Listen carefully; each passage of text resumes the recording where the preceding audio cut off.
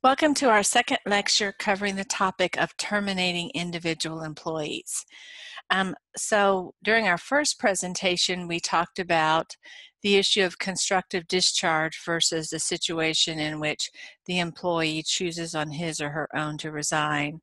And of course, we contrasted that also with the situation in which the employer ends the employment relationship. then we discussed the usual rule for um, private sector employees who work in a non-unionized setting, that being employment at will, and we talked about a few exceptions. Then we talked about um, a, a, greater view of the exceptions.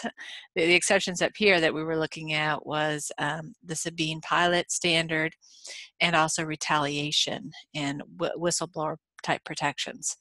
And then the impermissible grounds of termination, we talked about all the things pretty much we spent the semester talking about. Uh, this, uh, the Title VII, ADA, ADEA, FLSA, all of the uh, alphabet soup of different statutes that protect employees from discrimination and provide them with a safe working environment in which they are fairly compensated.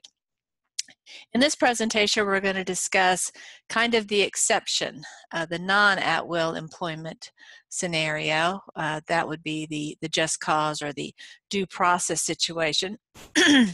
and this, again, is, doesn't apply to the majority of workers, but it applies usually to governmental employees as well as union unionized employees. And then finally, we'll talk about how to handle terminations when you do decide that that's the right course of action. What should be uh, the approach in terms of procedure to handle those situations? So let's go to our starting point for today. And again, we're on that just cause slash due process. So when you are uh, working in a unionized facility supporting the, the management of those circumstances, oh, your, your document as an HR professional will be the uh, CBA, the collective bargaining agreement. That will explain the rights and responsibilities that the employer has with respect to the employees and the rights and responsibilities that the employees have and the union has with respect to the employer. it will also usually in great detail explain um, the, the grievance process and how that plays out in the workplace. Um, and so you will be spending a lot of time kind of maneuvering in that environment and deciding how to to handle uh, uh, uh, disciplinary issues that come up in that situation. And the grievance process is usually very proceduralized. Um, the union is involved. The union steward acts as the advocate for the employee in the process. Um, there's usually a few steps, um, a, a, meeting to discuss potential uh, resolution of the issues, which can escalate eventually into an arbitration type proceeding. um, and in most union situations, that process goes forward even when it's pretty clear that the employee doesn't have a very good claim. The union doesn't always have to pursue the these um, uh, claims if he, it finds that they are baseless. But um, at least in my experience, the union typically does decide to go ahead and uh, continue that process if the employee wants to go through the process. In most cases, the employee does. So um, that can involve a significant amount of resources that both the union and the employer have to invest in that process. Um, and uh, again, that's just kind of the, the nature of the um, entity. So if it does go into arbitration, the types of questions that the uh, arbitrator is going to focus on, first of all, is, you know, what does the contract say? and then uh, more procedurally, uh, the the arbitrator is going to look at well, what was the rule? If there wasn't a written rule, what was the standard, and how was that followed? A question relating to that is was the standard reasonable? Was it consistently followed? So again, they're going to be looking for situations that the uh, there's a variation from the procedure. Was the employee offered due process? Was he given an opportunity or she given an opportunity to explain what, what happened or why he or she did um, what was involved. Is there sufficient proof? Now, of course, we're working in a a um, uh, civil type of situation. Loss of employment is obviously not a crime situation. Um, and so a court of law would look at this from a, a, preponderance of the evidence standard, standard. In other words, is it more likely or not that it happened this way or more likely than not that it happened that way? In my experience, arbitrators are usually putting a, a heavier burden on the employer. Probably not a beyond the reasonable doubt standard, but probably more than a preponderance of the evidence. Um, typically in uh, litigation that we have over you know, Title VII and things like that, while it's a good idea to give the employee due process, to allow the employee to uh, defend himself or herself before a final decision is made, to be able to present evidence, the failure to, to the decision to not provide the employee that opportunity rarely dooms the, the case in a civil situation. It's a bad fact, but it's not a deal breaker. In front of the arbitrator, though, that is likely to be a fact that is difficult to overcome. Um, progressive discipline is definitely something arbitrators are looking to see. Now, not every uh, violation is appropriate for progressive discipline. For example, a theft situation, especially theft of something of significant value, obviously progressive discipline doesn't make sense in that situation.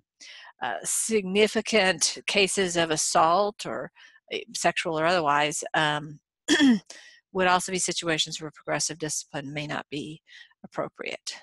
Is the discipline consistent with the offense? Again, the standard here is, is or, or the, the uh, likely perspective that the arbitrator is going to have is that you know, this is the death penalty. Um, this person may never be able to economically recover from this loss. And so uh, the, the offense has to be very, very uh, grave for that to be considered a reasonable um, consequence. Um, arbitrators fairly commonly do something that I'm going to refer to as split the baby. Um, so they're confronting a situation in which an employee has been dismissed. Um, the uh, the employer, me, the arbitrator can obviously uphold the dismissal, or can reinstate the worker. A fairly common middle ground that the empl- that the arbitrator may take is to um, reinstate the employee, but to have some kind of consequence for the employee. For example, let's say that it's taken four months for this case to go in front of the arbitrator. The arbitrator might say, well, we'll just treat these last four months as a suspension, or we'll treat the first two months as a suspension and the employee is entitled to back pay for the other two months, or something along those lines. So it's designed to give a little bit of a win to the employer and a little bit of win to the employee. Uh, that kind of split the baby aspect is fairly common with arbitrators, and that has to do with the culture of arbitration. Let me spend a little bit of time explaining this to you because it's not something that it necessarily is, is immediate, immediately obvious. The way arbitrators are usually selected is um, there will be a panel appointed by the AAA or whatever the agency is that's doing it. And we'll just think about the panel having five members.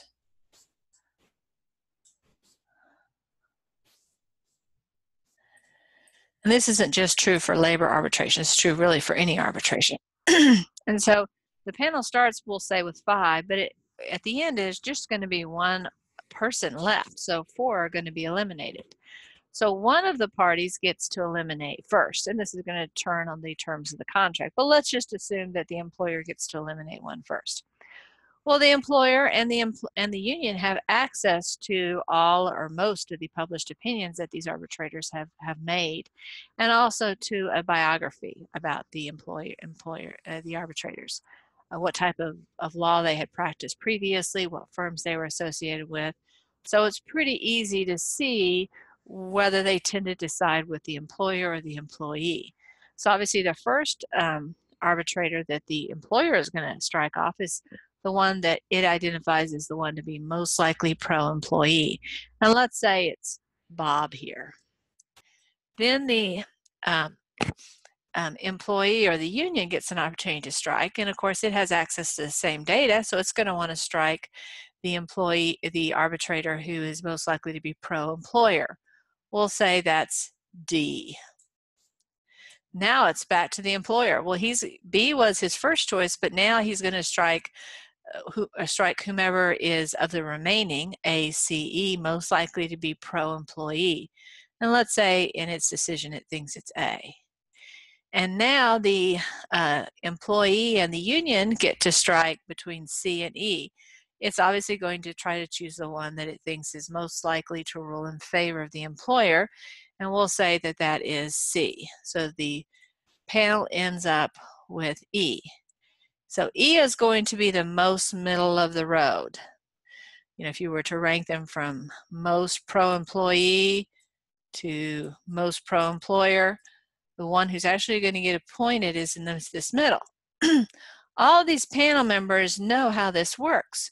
So the panel members, when they publish or when they write their arbitration decisions, are ideally seeking to be in this sweet spot. They want their decisions to be such that both employers and employees look at it and go, well, gosh, it didn't really favor one side over the other. So I'm not going to use my strike to get rid of this person. So the arbitrators being aware of this tendency are likely to get involved in kind of these split the baby type scenarios where they're not really uh, taking a position oh yes the employee was completely right or yes the employer was completely right. Uh, arbitrators who take that position don't get too many arbitrations assigned to them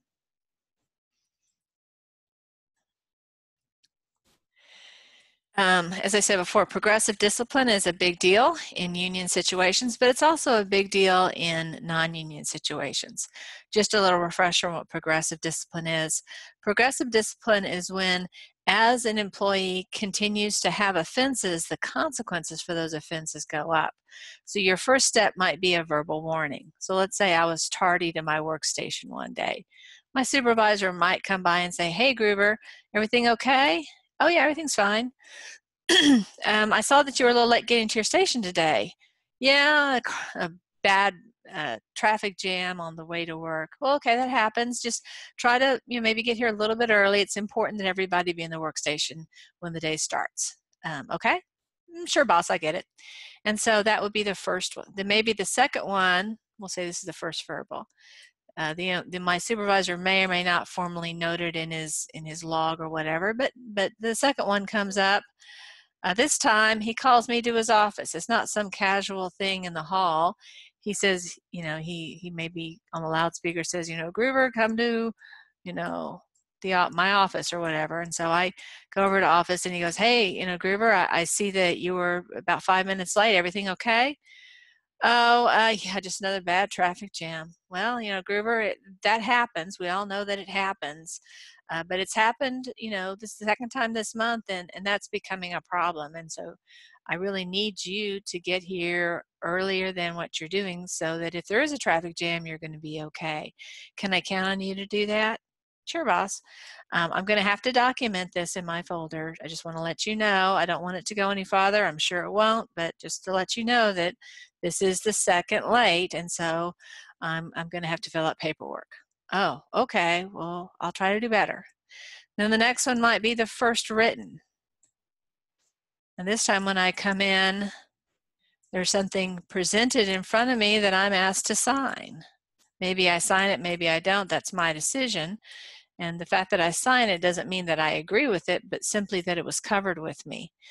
And um, very likely this formal document explains what the next steps will be. Maybe there's another written. Maybe this is the second written. Then I go to that one, and then after this one, maybe I get suspended for a week. Maybe that will be the next consequence. And then if I have a, another occurrence, then I am dismissed.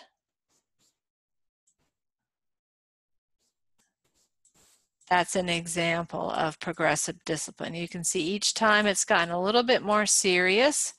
Very likely each one of these uh, documents as we go farther in the process talks about the other steps. The reason why we're moving to the second written is that Gruver's already had her first and second verbal and her first written, and it very likely will include the dates that I had those conversations, and it will talk about the various lates that I you know, whatever my issues in this case was late, but whatever the issue is, how that um, uh, proceeds. Um, an employer who has progressive discipline uh, for that particular offense ideally ought to use it consistently. Um, if there are uh, deviations from that process, then that, that ought to, uh, uh, the employer ought to be able to defend it. For example, let's say that um, my boss was um, in the hospital at the time for this second verbal.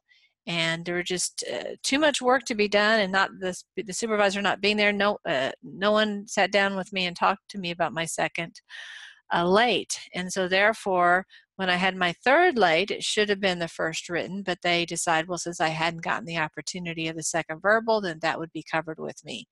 So um, i actually got an extra late than what the system ordinarily would permit.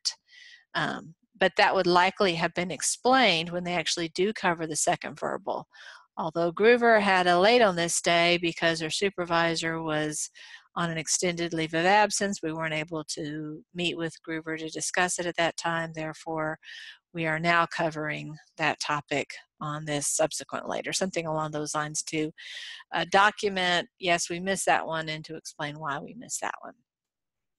If you are in a situation where you jump ahead, where you either skip a step in, entirely or um, uh, uh, don't follow all the, the steps involved in that particular uh, uh path, um, you ought to again be, a, be presenting a reason. For example, uh, maybe you have one policy for tardies that are under five minutes and another policy for tardies that are between 5 and 20 minutes and a third policy for tardies that are over 20 minutes. Um, and so you might treat those differently. Again, these would be things that you'd want to you know, have consistency throughout the process. Um, and have stu- uh, employees generally be well be aware of what these distinctions are. Um, so this progressive discipline makes sense in a union scenario. Certainly, that's questions that the arbitrator is going to ask, and um, that's useful in that context, but it's also useful in the non-union situation. It's useful in the non-union situation in a couple of different ways. First of all, it can be a good union avoidance tool.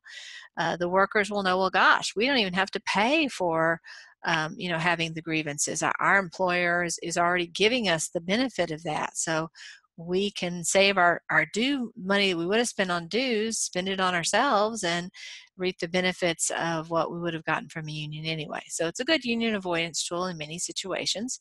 Number one. Number two, it is an effective way to defend oneself against discrimination claims because, after all, most discrimination claims have resulted in a dismissal. And so, if you have this well established process that you followed consistently, well it's going to be very difficult for the employer for the employee to show that there was any type of discrimination. It's going to be very easy for you to you the employer to prove that um, uh, there was a non-discriminatory reason for the disciplinary action taken Okay, let's talk about public sector employees. So generally speaking, public sector employees are going to uh, many times have the benefit of civil service laws, and they're also going to be able to assert various constitutional protections. Even though their employer is the, the government, and so their relationship isn't quite the same as citizen to government. In many respects, they're the rights that they would have against the government telling them where to go to church or um, or you know uh, what what uh, what they should say or what they should think. Um, there is some level to which the government can't tell its employees those same things because even though um, so because obviously these these employees are still citizens and still entitled to protection from the federal government so um, again, th- this part or these parts don't have to do with unionization. This has to do with when you work for the government, and it can be the federal government, it can be the state government, it can be the local government. These rules, by the way, usually don't apply, or they apply at least in a different form if you're talking about military service. So most uh, governmental bodies have civil service laws, and these are designed to protect and insulate employees from politics. Uh, so for imagine, for example, that you are a paralegal working in the district attorney's office. Well, the district attorney is a political uh, person. I don't mean that in a good light or a bad light. He or she is elected by the citizens. And so he or she in Texas at least will be identified with, with a particular political party. It may or may not be his or her true political views, but it's the, the party that um, you know was successful in that particular election.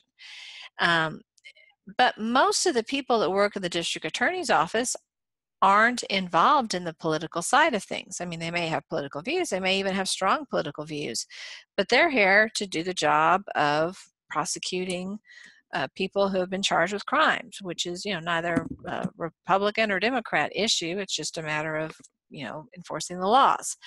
And so if we had a system in which, let's say, party X gets voted out, so party Y's candidate is now the DA. Well, if that DA could come in and say, well, I'm going to fire all, let's say that the district attorney is a, we'll say he's a Democrat, although it works equally well if we're a Republican, but in our example, we'll say he's a Democrat. And so he says, well, um, all, I'm going to fire all the Republicans in this department, or I'm going to fire all the people who supported the other person who was the district attorney. I'm going to fire the other attorneys. I'm going to fire the paralegals. I'm going to fire the secretaries and clerk, file clerks. And then I'm going to replace them with all of my cronies, the people who happen to have campaigned for me, contributed to my campaign, who are on my side. I may even fire some people who were on the fence, who really didn't take a position one way or the other, so that I can put my cronies into position. And then, of course, once that Democrat gets voted out by, say, the Republican, the Republican turns around and does the same thing. Well, as you can see, as a result of this kind of flip flop, uh, people who are not interested in political activity, who just want a steady paycheck, aren't going to want to work for the district attorney's office. They are going to want to stay clear of that because they don't want to get, lose their job just because there's a different uh, uh, party in control in this particular county. And so generally um, civil servants, uh, people who aren't at the very top of the hierarchy, uh, will be allowed to retain their position even when uh, one party loses favor and then another party uh, gains favor. Most of the staff isn't serving at the pleasure of the district attorney, for example. We also have tenure laws, and these have to do with um, uh, uh public school teachers and also university teachers. And in the context of the universities, it applies both in the public area and the private area. We have the idea of tenure. Um, and tenure can be developed in lots of different ways. Typically in Texas, in our public schools, uh, teachers will get uh, tenure after three years of employment in that particular school district. So if a for example, a principal identifies that a particular teacher isn't being effective in the first or second or even third year, the principal can say, well, we're not going to renew your contract. But if he decides or she decides in the fourth year that the uh, teacher isn't being effective or is causing some problem, then there's going to be a much more arduous process to discontinue the employment relationship. And so as a result, um, it's relatively rare for teachers to uh, lose their positions except very, very early on. Even then, it's not common. And a similar uh, process works for it at the university level. Now let's talk about the constitutional rights that uh, uh, apply to public employees. So public employees are going to have uh, due process rights related to their property. They have a property interest in their job. And I know that sounds kind of crazy. Your job isn't property. And they also there's also a liberty interest that they have. And then of course they have the right to freedom of speech, freedom of religion, and freedom of association. And these extend even to their employment relationship. So if I am fired from my job, I am essentially losing my property if I am a governmental employee. And so um, I have just like if, if the government were to take my land, that the takings clause requires that I'm entitled to due process in that situation. Well, if the government takes away my job, that's a, since I have a property interest in my job, I have that same right to due process under those situations.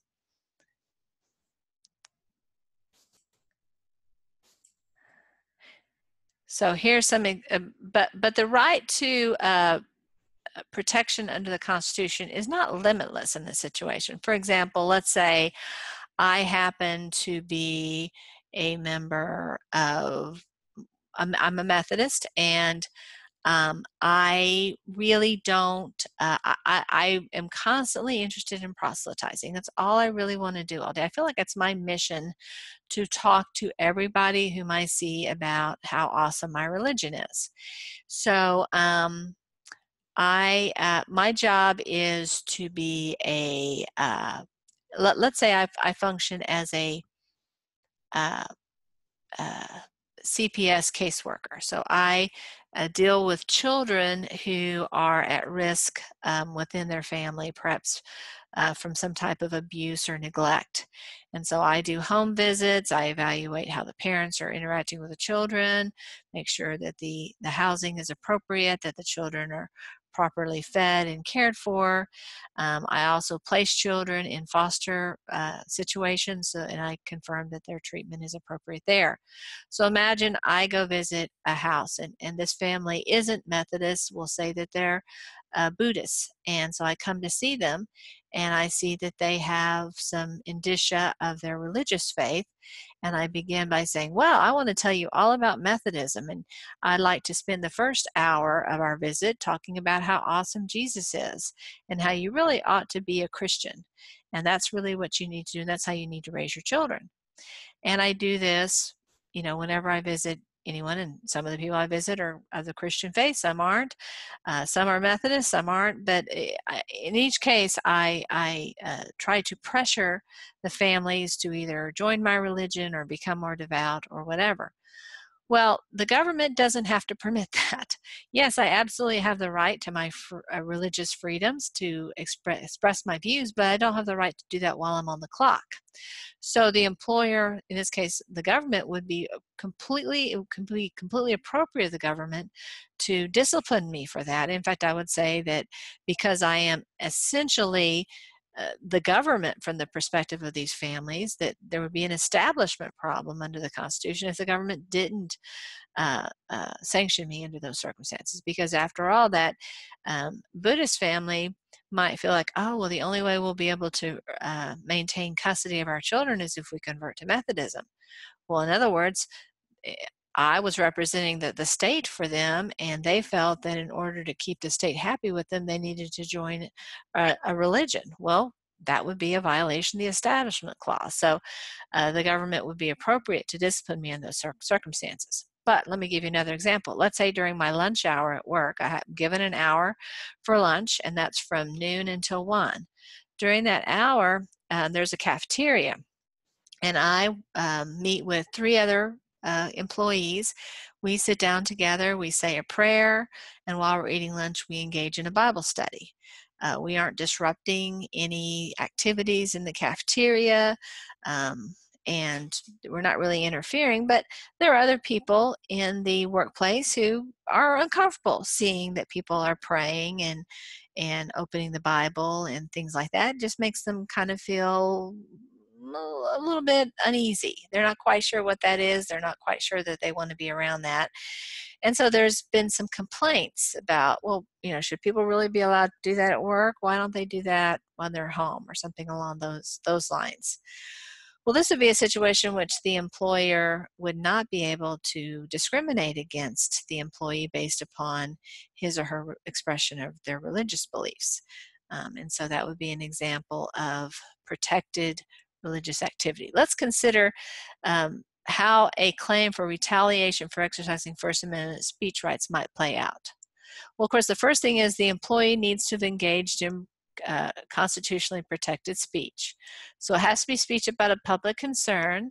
The speech was engaged in as a citizen rather than an employee and when balanced against the legitimate interests of the government agency in effective and efficient operations, the speech was not unduly detrimental or disruptive.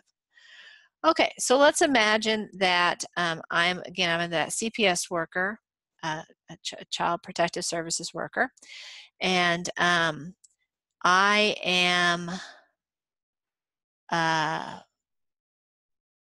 I, because of my involvement with um, uh, the uh, child protective uh, function, I um, have some insightful ideas about um, how schools can best serve the needs of foster children. Because obviously foster children often move from school to school and so there can be some discontinuities you know in one school maybe they they cover this particular math skill early in the year. In another school they cover it later in the year. Well if a child moves between schools maybe he or she misses education on that particular concept. Anyway so i have some ideas about what would be better for uh, children. Maybe maybe my idea is we ought to standardize when during the course of the year a particular topic in math is covered or whatever the top the issue is well, certainly that subject would be, and so let's say I'm going to speak in front of the Texas legislature. I'm going to uh, be a witness. Well, that would be a matter of public concern. And I am a citizen and I am speaking just on my own behalf. And I make it clear when I'm making the presentation that while my expertise is a result of my involvement with the government, I am speaking not as a representative of the government, but as a, a citizen expressing my views.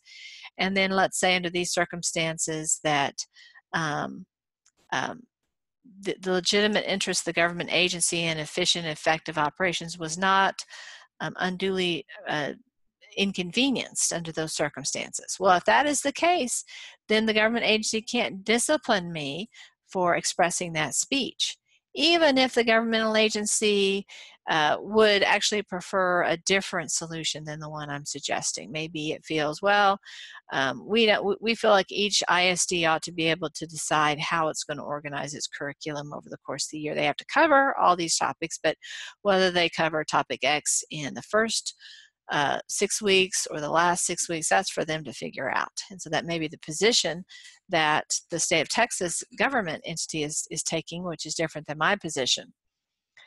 Um, so that would be an example that I would be able to speak under those circumstances. But let me give you another scenario. Let's say, again, I'm a CPS worker and I am testifying as to um, particular procedures that the CPS uh, uses in its care of foster children, and I am pointing out that these procedures are detrimental to children. Uh, well, in this situation, it is a matter of public concern. Obviously, we're all concerned about the welfare of foster children. Um, um, and I may be called upon to this as a citizen instead of being called to testify as an employee. But you can see how me testifying about the ins and outs of the procedures of the CPS, especially in a critical way, might be detrimental and disruptive for the operations of my employer. And so in that situation, the agency probably be within its bounds to discipline me um, for uh, talking kind of out of turn under those circumstances. Let's imagine a different scenario. I'm a CPS worker this time, just as I was before, but this time I'm not speaking as Cynthia Gruver. I'm speaking as a member of the staff of CPS. And so I am speaking in my official capacity. I'm on the, um, in other words, I'm um, working when I speak, when I testify. And I know that what the agency wants to have happen is XYZ. And so let's say once I get on the stand and I'm sworn in, instead of delivering the testimony that I have told my employer I'm going to deliver, that I'm expected to deliver, that is consistent with the CPS's mission, I deliver testimony that's different. Well, in this situation, um, while the matter was of public concern, it was part of my um, duties as an employee. And so, therefore, um, this element is missing. And so, I'm not going to be able to uh, uh, successfully sue for retaliation under those circumstances. So the bottom line is, it's not a protection for any speech that I give, um, but it is, it is a greater level of speech protection than you would have in the private sector. The bottom line is, in the private sector, um, there really are no protections from freedom of speech. Now, we do have some protections in the area of religion because, of course, um, there are protections against religious discrimination, and there's even the requirement that the employee reasonably accommodate employer reasonably accommodate the the uh, religious observance of the employee. Uh, but but freedom of speech, freedom of association, those aren't ideas that apply in the private sector. Let's talk about handling the dismissal. Um, no one likes to fire people. Well, very few people like to fire people. It is an uncomfortable, unpleasant task. Um, I've have haven't uh, told people in the past. One of the, the very best things, probably the only good thing about being in HR or working in the HR function is that when you go to a job interview and they say and they ask you the question, what did you like least about your last job? You can always say, I didn't like to fire people. And everyone is going to think, well, yeah, good answer. of course you didn't want to fire people. That makes you a human being. Um, it's it's an unfortunate aspect of working in HR. You will, at, from time to time, have to fire people. Um, knowing how to do it, having the procedures kind of worked out in your head, can make it easier for you, and can make it easier for the employee whose whose employment is is ending. It's um, uh, not a a pleasant task under the best of circumstances, and usually it's not the best of circumstances. Um, I'm going to start by sharing with you a couple of stories. Uh, I have only faced, I've only fired people directly um, a few times in my life. Certainly less, let's say, about 10 or 10 or fewer. So it's not, it was not a regular part of my professional life. Uh, many people who work in the HR function have fired hundreds eh, or more people, uh, especially in, in um, high turnover type uh, areas, that's not an uncommon thing. So I'm not here to say that I have extensive experience in dismissing people, but while I, I was not usually the person dismissing, I did approve the dismissal of uh, thousands of people, I think it's fair to say. Um, the, the, there were rules in place when I was at J.C. Penney that certain categories of terminations, they had to run it by me before I could bless it.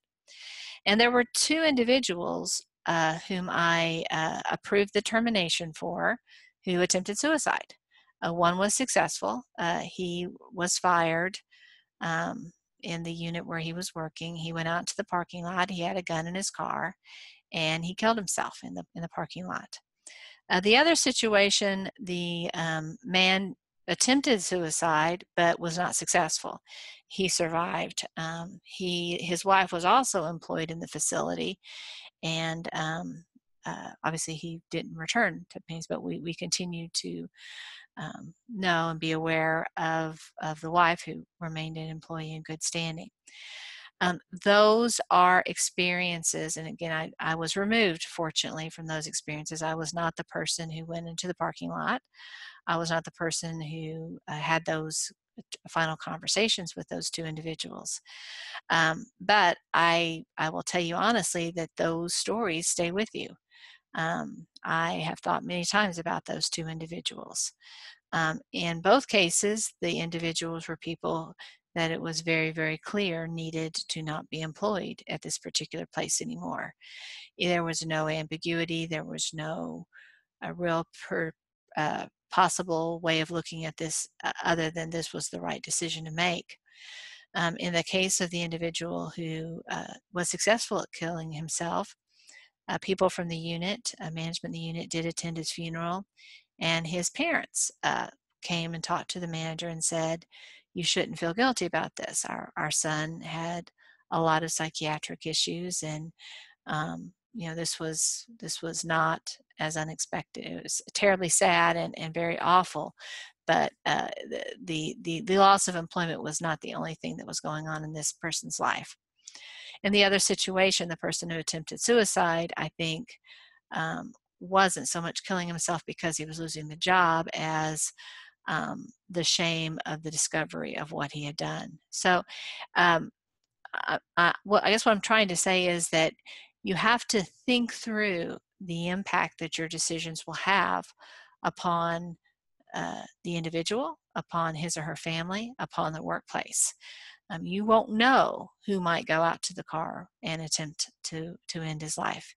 Um, in both of the cases where the individuals attempted suicide, um, no one was thinking that was what was going to happen. Um, and so you have to uh, think that through and kind of make your peace with the decision uh, before you kind of enter into it. I guess what I'm trying to say is that these are big decisions that have lasting implications on people's lives. Um, another case I can think about this individual did not harm himself. he was dismissed um, for uh, repeatedly looking at pornography in his work workplace. Um, he was given uh, at least two warnings and then he was dismissed. He was a an older person and um, uh, he did not tell his wife why he was dismissed. Um, he uh, uh, told his wife that he w- had been laid off from work. He, he and his wife attended the same church that the minist- that the uh, head uh, person for this facility also attended and the wife was was very upset that her her husband had been laid off especially since he had such long service and so she thought to herself well surely they should have laid off the the, the more recent hires not this very long service employee so he she went up after the religious service was over and approached uh, the manager and and started speaking to him uh, strongly, uh, sternly, and saying, you know, I, I, can't believe you did this. This is financially devastating for us. Um, and the manager just kind of had to stand there and say, you know, I'm so sorry that you're going through this difficult situation. But he wasn't able to say what what I'm sure he wanted to say, which is, no, your your husband wasn't laid off. Your your husband was dismissed because of intentional con- misconduct that he had that he knew that would would ultimately result in this. So um, there are lots of layers. There's lots of things to consider when you're dealing with these types of issues. Um, and for that reason, dismissal should not be approached lightly, should not be approached as the first option. Um, it's a good idea to consider before you get to termination other things that you can do. Retraining, transferring to a different department, demoting to lesser responsibilities, perhaps doing some type of suspension. It can be a day, it can be a week, it can be a month. Um, signing a, a, la- a last chance agreement. Hey, we're giving you one more chance, but if you break this, if you you know surf and, and visit those websites again, or if you're um, uh, you know uh, if you don't meet your productivity goals for this week or whatever, then that will be the the end of the employment. Sometimes an issue will come up about whether you should allow an employee to resign his or her employment. I mean, in some sense, up until the time that you dismiss, you you can't stop that person from resigning. I mean, it's an at-will situation, um, and oftentimes uh, it, it will be abundantly obvious to the employee that yes, I'm going to be dismissed on that day because I have this appointment, and I know that my, on my performance improvement plan that's the final date and i know that i haven't met my goals and so you know i know that that's coming down the pike and sometimes an employee will uh, preempt and start the conversation by saying i resign i don't see any downside to doing that um, in my opinion if the employee would prefer to tell the world i resigned instead of being dismissed um, I think that there's no reason not to assist him in saving his face and, and allowing him to make that representation. He may turn around and file for unemployment, or he may turn around and allege discrimination or constructive discharge type claim. Since you were going to fire him anyway, and he probably knew that fact, it doesn't really mean that he can't advance those types of claims just because he actually said the word I quit instead of you actually saying the words you're fired.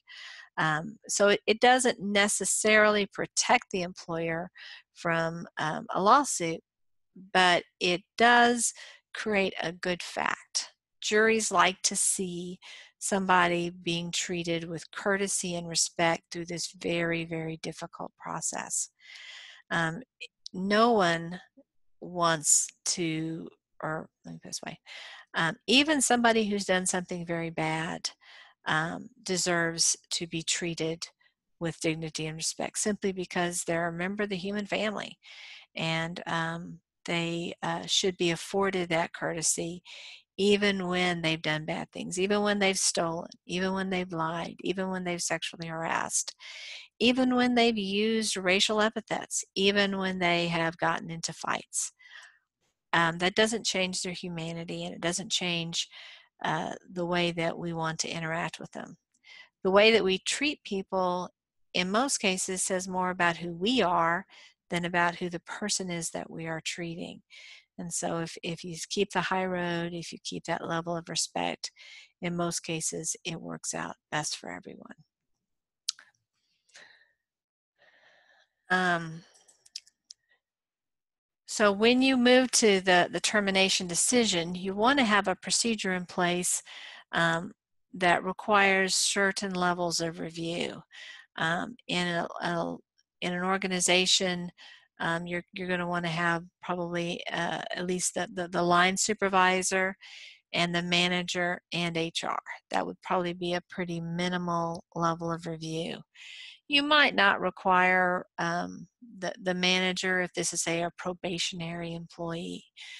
Um, if you're talking about a long service employee, say somebody over five years of, of service, you might want to have the unit manager or perhaps someone from the legal department to, to review to see if there's any issues that have escaped the notice at this point. So those are some things to keep in mind in terms of that process that you want to have. You want that to be explicit. You want people to know what their level of authority is so that somebody doesn't suddenly decide they can fire people. Um, maybe that wasn't part of their responsibilities. Um, when the it is time to meet with a person to communicate that decision, you're going to want to have a document. Uh, the name of the document is going to vary depending upon the particular employee, employment uh, culture that you have. Um, where I worked, it was called a reason for dismissal, uh, but that name, there's nothing magical about that. It's usually going to be a short document, two or three sentences, maybe just one sentence sometimes, that summarizes why this employment decision is being made. And then there's the opportunity for uh, the employee to sign. The signature doesn't mean the employee agrees. Very likely the employee doesn't agree. Instead, what the signature means is that he has this document has been shared with him or her, that he or she has had a chance to see it. Um, and usually there's a place in the form so that the employee can write a rebuttal uh, to say uh, what facts he thinks were untrue or what conclusion he feels was unjustified. Um, the employee kind of has a choice about whether to complete that or not, but whether or not he completes it or rebuts it, he still doesn't mean that he necessarily agrees with the statement. When the termination happens, it ought to include the employee, um, most likely his manager or the manager's manager, and someone from HR, somebody within that line of supervision, and then somebody from HR. Um, the reason that you want to have two people from the company's management present is twofold. First of all, each one is going to do a different part of the termination. The manager is the one who's going to present the reason for the termination. After all, the manager's in the position to know whether Bob was doing this or not doing this or whatever. The HR a professional is there to communicate HR information. Things like eligibility for COBRA, things like getting back various and sundry doc documents, or not so much documents, but maybe badges or um, company credit cards or things along those lines. Um, getting keys back to the, the locker, um, explaining how you certain items will be um, you know sent to them or, or or what information that this employee ought to expect to receive when the employee will get his final paycheck those types of administrative matters so one of the reasons you have both folks present is because each person has his or her own area of expertise. The second reason, though, is that it's good to have two ears because um, it's an emotional experience. Um, it's obviously most difficult on the employee, but it's not at all easy for either the manager or the HR professional. And when emotions are running high, when there's a lot of tension, sometimes fear can be a, a, a part of that, it can become confusing who said what. And so having another set of ears uh, to be present, to hear what's happening, can be a, a way of kind of documenting the occurrences more clearly. It's a good idea, especially if something surprising happened during the meeting, to have both participants to prepare some kind of statement about what was said or what was done or something along those lines. Um, there ought to be a clear process. Uh, many times the HR person will uh, kind of coach the manager about how to proceed. And there may even be kind of a dry rehearsal done. Okay, you'll say this part, I'll say this part, then you'll do this part, then I'll do this part. Um, and so everyone kind of knows what their assigned role is. And having that kind of structure helps the meeting proceed reasonably quickly, and yet it also ensures that everything is covered. And as I said before, this is at the end of the day designed hopefully to make the process as um, palatable as possible to that employee. The employee doesn't want to spend any more time in that meeting than is absolutely necessary, and yet he or she does need to get some information, and he or she should be given the opportunity to ask questions and, and get some closure in those areas if that's possible. So you, you want to structure it in a way that's going to be very respectful and mindful of that employee. Um, the meeting itself should be private. The door should be closed.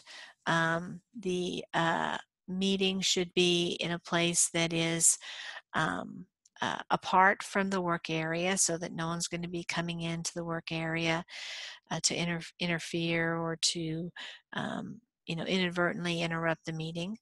Um, there ought to be provisions made for the employee who might become emotional, tearful, angry, um, uh, having tissues available, uh, allowing the, the, the employee have some time to collect himself.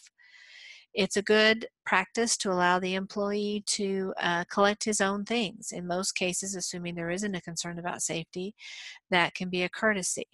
But oftentimes, the employee won't want to do it in front of his or her workers. Uh, that's embarrassing. And so, what you may do is you might schedule the meeting for the end of the day. And so, after the workers have cleared out, then you uh, and the employee go back to the work area and pack up the things. Uh, there are times because of security issues or concerns about safety that you may not want the employee to return to the work area. In those cases, then of course you would very likely have packed up things for the employee and give it to the employee at that time. Um, many times, especially when the employee knows that this is likely to happen, the employee will have already brought home most of his or her personal effects. And so there may be relatively little that you have to do to uh, uh, get the employee's um, issue squared away. Um, changing passwords is an important thing. Uh, turning off access to various things, credit cards, uh, computers, buildings, things like that can be an important concern. Um, there can be hacking and sabotage of things, and so it's important to think through those issues.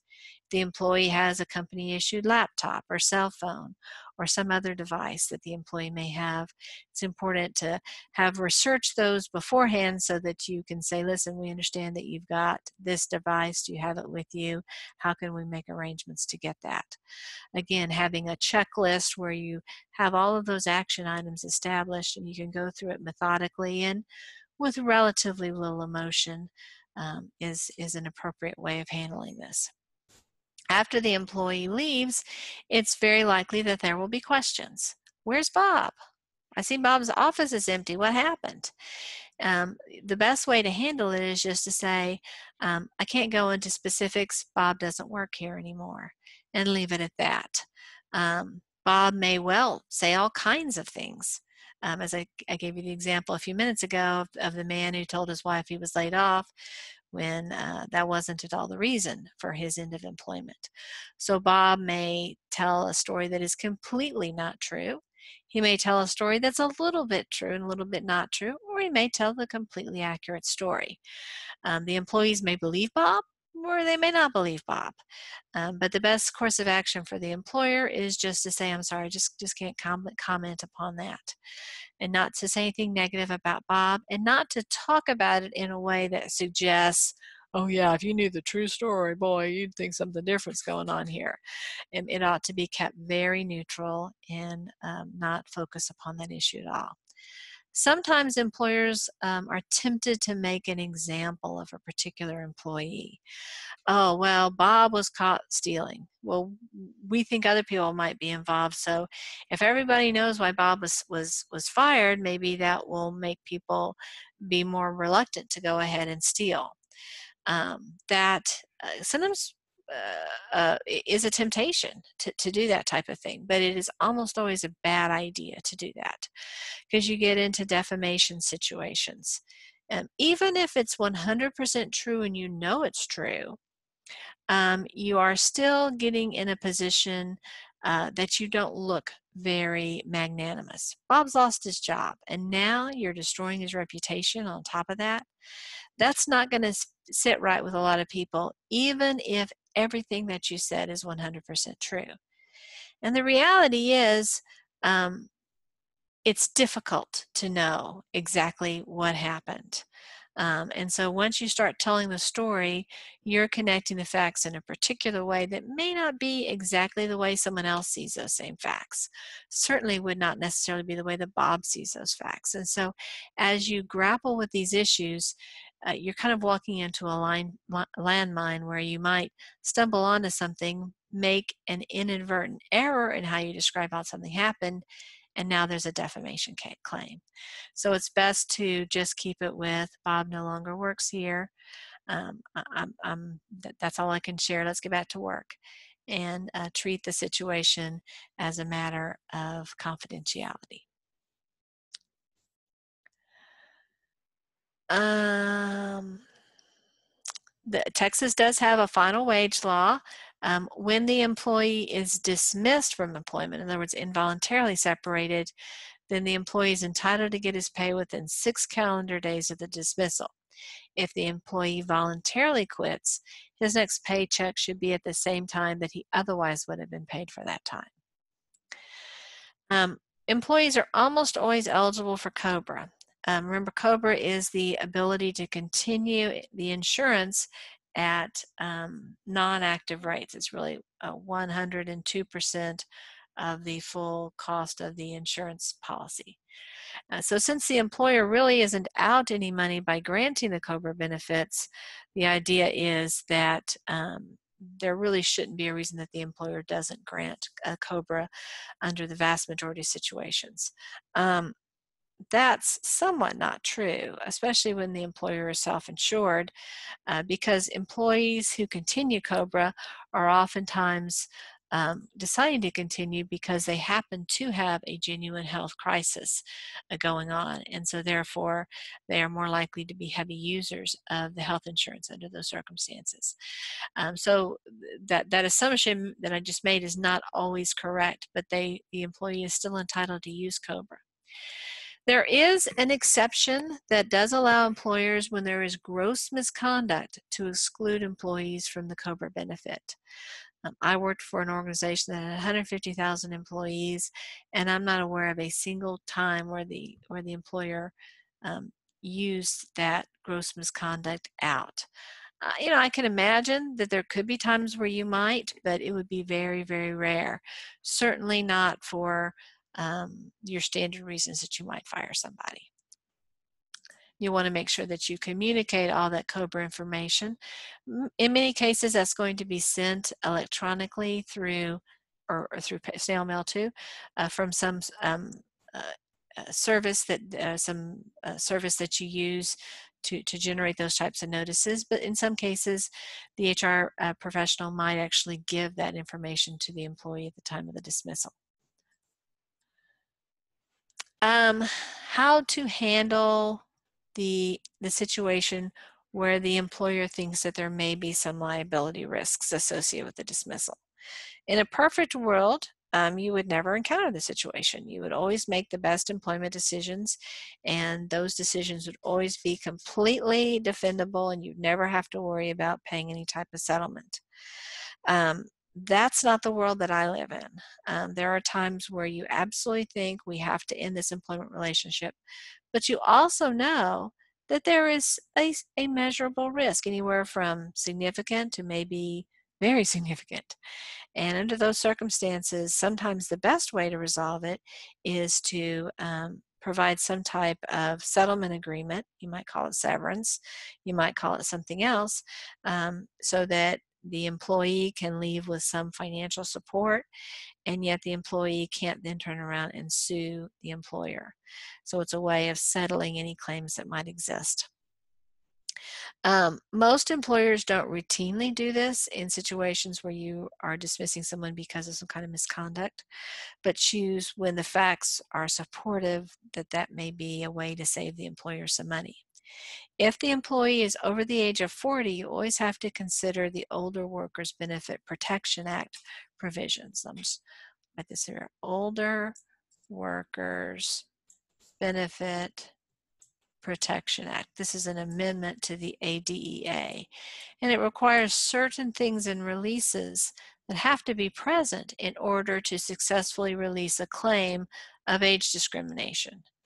We don't have these same types of protections available for sex discrimination or national origin discrimination or race discrimination or disability discrimination. These protections extend only to age discrimination. But um, if you're going to use the, the, the, the forms in the age discrimination case, you'd want to use it in all cases, right? So, I mean, there, there's really no reason not to follow the Older Workers Benefit Protection Act elements, even if there isn't an age claim. Um, and we've talked about these before, so I'm not going to go into detail, but it has to do with how many days um, the employee gets to consider the, the offer um, what the revocation process is if he changes his mind after he signs it, what particular language has to be in the, uh, the waiver. Lots of very technical, somewhat nitpicky things, definitely things that you'd want somebody in your legal department to be involved in before you actually uh, share that type of release with the employee.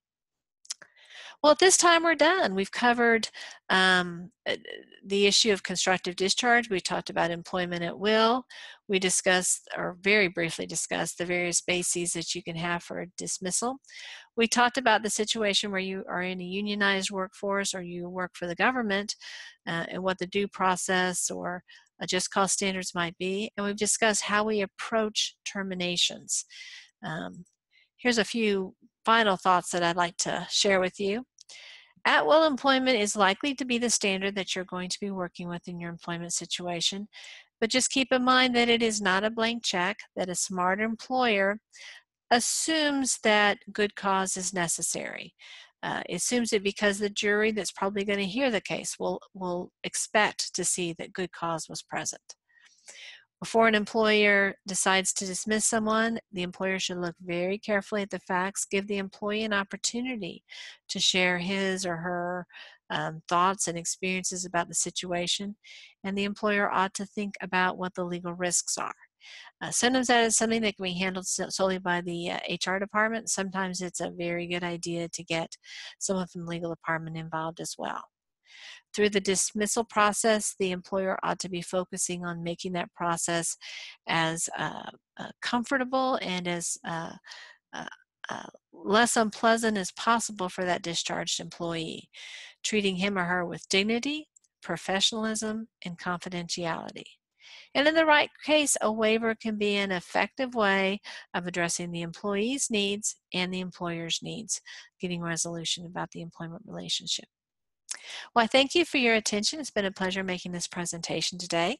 If you have any questions, please don't hesitate to reach out to me. My email is cgruver at collin.edu, excuse me, cgruver at collin.edu. I look forward to hearing from you. Or, even better, please feel free to stop by and we can talk at great detail on these topics. I thank you for your attention and I hope you have a wonderful day. Take care.